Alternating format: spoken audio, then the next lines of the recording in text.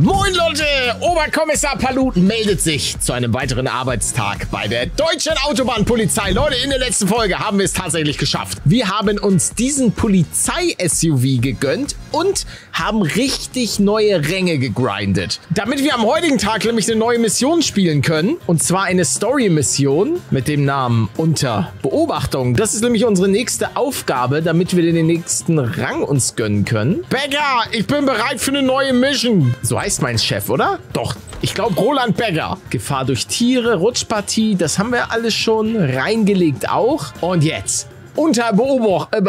Äh, unter Beobachtung. Mehrere Fahrzeuge werden in einen größeren Unfall verwickelt. Als wäre das nicht schon schlimm genug, machen dir und den anderen Rettungskräften auch noch Gaffer das... Oh, das hasse ich ja. Gaffer bei einem Unfall. Wie sieht's mittlerweile aus? Habt ihr schon mehr zu den Rasern rausgefunden? Bisher nicht.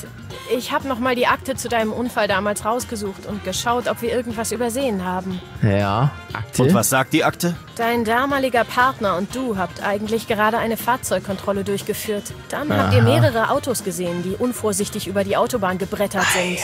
Also seid ihr hinterher. Dabei habt ihr einen der Wagen gerammt. Aber dadurch, dass der Raser viel schneller war als ihr, hat es euch bei dem Manöver... Mann, wir, wir rammen einfach die Raser. Wie kann ich das nur vergessen haben? Ja, So sind nicht. wir Menschen eben. Nun ja, dein Partner, Holger, hat danach den Dienst quittiert. Er saß am Steuer. Schade, dass er nicht mehr dabei ist. Aber dann muss ich diese Raser erst recht unbedingt stellen. Für mich und für ihn. Oh ja, das stimmt. Steige in ein Dienstfahrzeug. Ja, mach ich, mach ich. Kein Problem. Moin, ab in unseren SUV. An alle Einheiten. Es gab einen Ah, schweren Unfall auf der A16, nahe Kreuz Leibhausen. Drei Pkw sind verkeilt. Die Rettungskräfte sind bereits verständigt. Wer übernimmt? Ja, ich mach. Hier Wagen 1. Ist nicht weit von uns. Wir Okay, fahren wir sind hin. wieder unfassbar Verstanden, langsam. Wagen 1. So, aber kein Problem. Ich mache jetzt hier einmal. Blaulicht ist an. Guck mal, der Wagen ist auch brandneu. Der hat gerade mal 9 Kilometer runter. Muss man die nicht erstmal einfahren? Dass man auch nicht so und so schnell und nicht mehr als 3000 Umdrehungen. Oh, scheiße. Ja.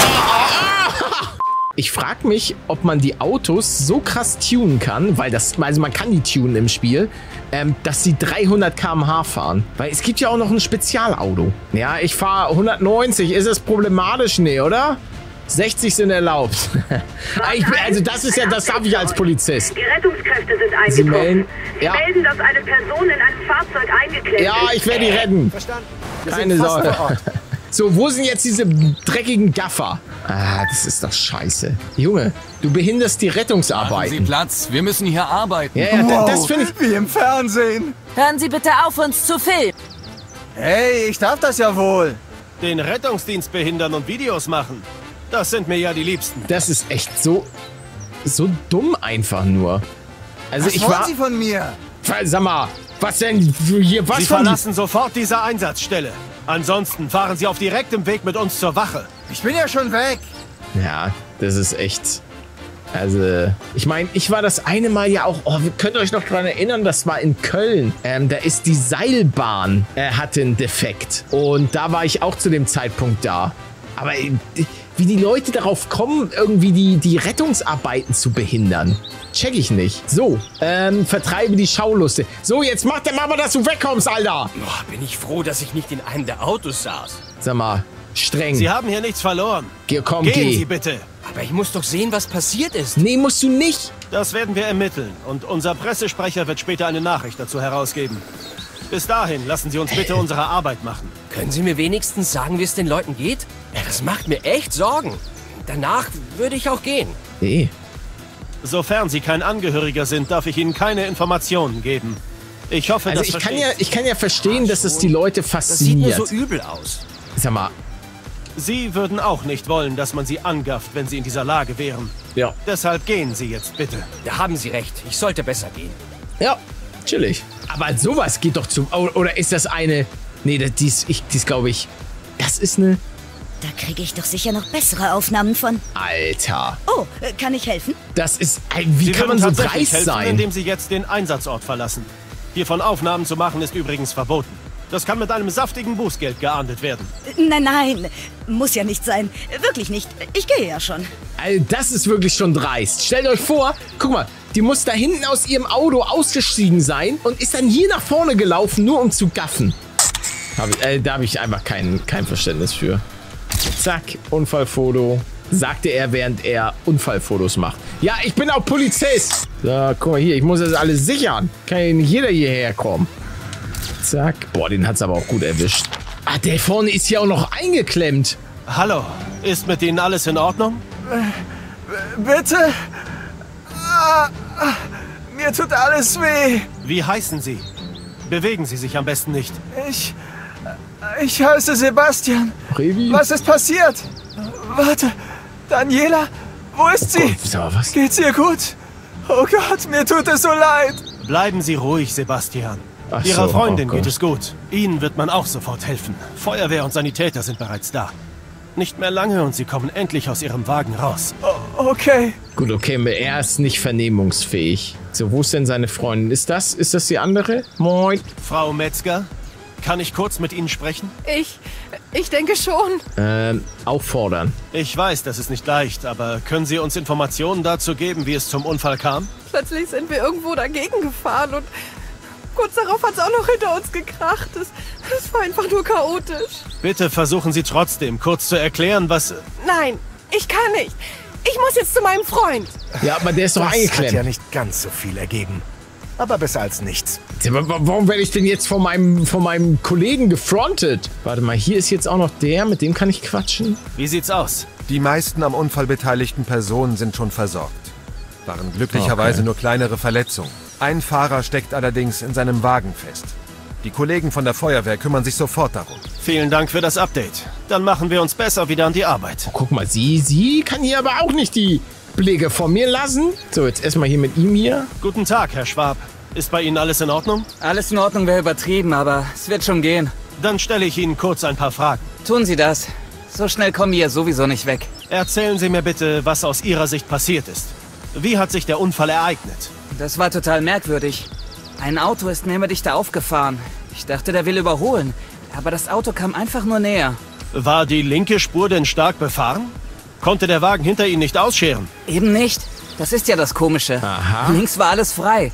Aber anstatt auf die andere Der Spur ist zu eingepennt oder zu so. bremsen, fuhr der einfach auf. Klingt so, als wäre der Fahrer unaufmerksam gewesen. Wir können noch nicht mit ihm reden. Aber vielleicht finden wir so noch etwas heraus. Danke für die Auskunft, Herr Schwab. Vielen Dank, vielen Dank, ja, sehr, sehr korrekt. Können wir mit, mit, ja, mit ihr können wir nicht nochmal quatschen. Dann, dann die Feuerwehr. Privat. Gerade gibt es Wichtigeres. komm! Wie sich um Verletzte zu kümmern, zum Beispiel. Ja, Ist sorry. hier alles okay? Ja und nein. Den meisten Leuten geht es gut. Ja, ja, das Ist er machen schwer wir. verletzt? Kann ihm noch etwas passieren? Wir haben sichergestellt, dass das Auto sich weder bewegt noch Feuer Ah, fängt. gut, gut. Aber zu dem Fahrer selbst können wir erst etwas sagen, wenn er frei Ja, dann ist. sch- schneid ihn mal frei. Danke für die Infos. Wir machen uns dann auch wieder an die Arbeit. Können wir nochmal mit dir? Nee, du hast jetzt auch. Okay, keiner hat mehr Bock zu quatschen. Sprich mit allen Beteiligten, mit wem haben wir denn noch nicht geredet? Ah, wer, versteckt sich denn hier hinten? Hallo, Frau Bumm. Wie geht es Ihnen? Frau Alles okay. Ich glaube, ich bin nicht verletzt. Das ist gut. Ihr Wagen ist der hintere? Kann ich Sie kurz zum Unfall befragen? In Ordnung. Was können Sie mir darüber sagen, wie der Unfall Die zustande kam? aufgefahren. Es hat gekracht. Dann wurde das Fahrzeug vor mir plötzlich langsamer und ich konnte nicht mehr rechtzeitig bremsen. Da bin ich hinten drauf geknallt. Haben Sie denn beim Fahren den Mindestabstand Ja. eingehalten? Das weiß ich gerade nicht. Auf so etwas müssen Sie achten. Ansonsten trifft Sie womöglich eine Teilschuld. Ja, natürlich. Vielleicht war ich wirklich zu nah. Oh, Wenn Sie schon Geständnis. so dicht dran waren, konnten Sie dann vielleicht etwas in dem Fahrzeug vor Ihnen erkennen? Jetzt, wo Sie es sagen. Es sah so aus, als hätten die Oh. zwei im Auto gestritten. Hilft Ihnen das? Definitiv. Danke für Ihre Aussage. Ja, ja, dann würde ich aber gerne nochmal mit ihr quatschen. Oh. Oh, das sieht nicht gut aus. Vielen Dank für Ihre Hilfe. Kein Gerne. Problem. Gehört schließlich zu unserem Job. Ja, warte mal, jetzt würde ich nochmal ganz gerne mit. Wenn es nach mir ginge, hätte ich allen direkt ein Bußgeld aufgedrückt. So kann man doch nicht oh, arbeiten. Ja, das Hätten. Sie auch verdient. Was aber wichtiger ist, ist, dass die Leute daraus lernen. Ich denke, das haben unsere Schaulustigen dann auch verstanden. Na, hoffentlich. Ja, die waren aber auch kackendreist. Kann ich, kann ich jetzt nochmal mit ihr... Achso, verlasse das Einsatzgebiet? Nee, ich kann nicht mehr mit ihr quatschen. So, äh, ja, wir steigen dann wieder in unser Auto und sind wir erstmal weg. Vorsicht. Ich mache auch noch mal kurz ein paar Bilder und zack, weg hier. Jawoll, das lief doch sehr gut. Oh ja, jetzt haben wir nur noch fotografiere zwei Wahrzeichen. Ja, Wahrzeichen sind, glaube ich, auch einfach. Einmal hier, bremsen. Ja, manchmal, manchmal muss man auch die Leitplanken benutzen. Oh, okay, das war knapp. Um ein bisschen schneller zu bremsen. Vorsichtig. Was ist denn hier das Wahrzeichen? Nee, du musst doch jetzt hier nicht stehen bleiben. Ich will doch jetzt hier was fotografieren. Okay. Sehr gut. Ich hoffe, ich hab's durch das... Ja. Sehr, gut. Ja, was soll denn das jetzt? Du kannst doch vorbeifahren. Habe ich einen Punkt bekommen? Ja, wunderbar. So, rein hier. Direkt zum nächsten Wahrzeichen. Oh, oh ja. Hier, hier gibt's was. Den Z-Dome. Warte, wieder die Taktik zum Bremsen. Ja, und parken. Sehr gut. Vorsicht, ja. Allgemeine Verkehrskontrolle. Wahnsinn. Der Polizist muss kurz was fotografieren. Warte, wo ist der Z-Dome? Junge, was ist... Ey, ihr wollt mich doch verarschen. Neuer Rang. Ja, neuer Rang 16. So wird das gemacht. Straßenblockaden, egal in welcher Schicht. Straßenblockaden? Sammle zwei Quietscheenten. Ihr wollt mich doch verarschen. Jetzt zwei Quietscheenten sammeln. Ich gehe jetzt erstmal zurück zur Wache. Oh, da sind doch wieder neue Missionen, oder nicht? Guck mal, ich habe da ganz viele Ausrufezeichen. Oh ja, hier sind neue Sachen. Ah, diese Straßenblockaden. Oh, das feiere ich. Aber nun gut, Leute, eine Straßenblockade gibt's beim nächsten Mal. Wenn es euch gefallen hat, lasst auf jeden Fall ein Like da. Hier ist jetzt auch der Team Paluten-Kanal. Weitere Videos schaut gerne auf paluten.shop oder kottbruder.de. Und ja, danke fürs Zusehen, Leute. Habt alle noch einen traumhaften Tag. Haut rein. Ciao, ciao.